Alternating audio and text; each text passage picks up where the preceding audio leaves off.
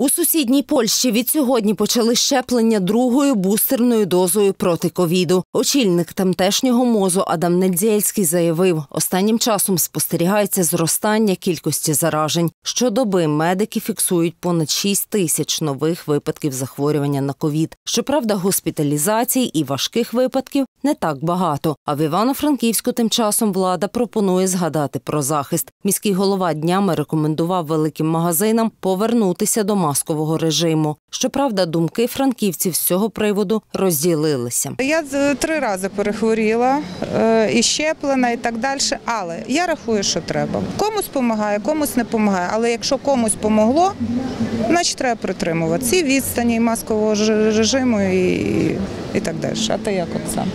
Єдине, що я згідна, але щоб ті маски правильно носили, а не одягали їх просто на рота. І називається, що вони оділи маску. Да, а носик зверху то Та, а носик зверху, це називається оділи маску. Якщо їх правильно носять, вони дають якийсь ефект. Отрицательно я. Чому? Потому что это надувательство простого народа. Що ви маєте на увазі? Ну, я не, потому что зараз нач- начинается эпидемия гриппа, а это всегда была эпидемия. Может, она немножко сложнее уже, эта эпидемия. Химозы в воздухе летают полно.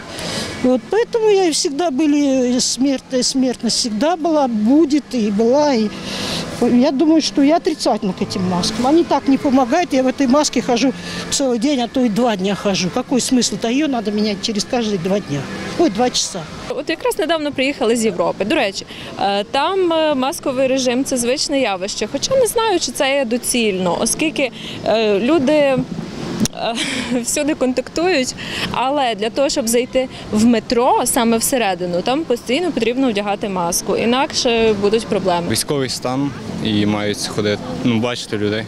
З однієї сторони варто це вводити, тому що е, хоч якась, але доля, якийсь відсоток того, що можна себе вберегти, вона напевно є. А з іншого? А з іншого боку, от я вже казала, що стільки людей хворих, стільки не здають тести, не звертаються до лікарів, і ми просто не знаємо, чи хтось тут не може на нас кашлянути, і ми не можемо захворіти від цього. Підтримує повернення до маскового режиму і сімейна лікарка Богдана Лелет. Щоправда, каже, вдягати маску треба лише в місцях скупчення людей, наприклад, у громадському транспорті і супермаркетах. Захист від коронавірусної хвороби це є комплекс заходів. Один з пунктів це є масковий режим.